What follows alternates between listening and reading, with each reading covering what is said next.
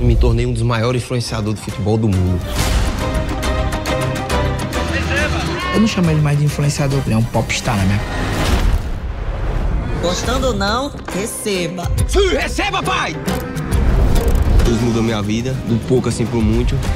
E aí hoje eu sou o melhor do mundo, pai.